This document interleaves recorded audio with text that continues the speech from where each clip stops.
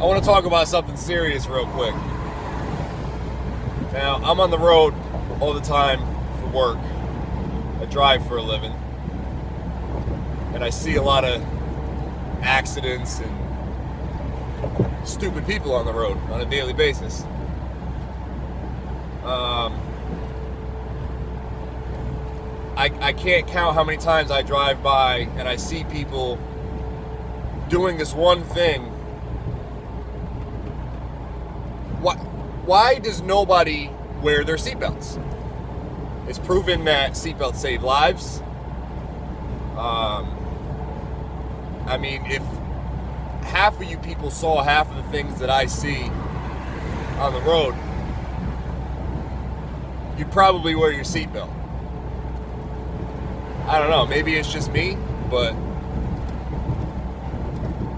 it's not worth it, you know. Fuck.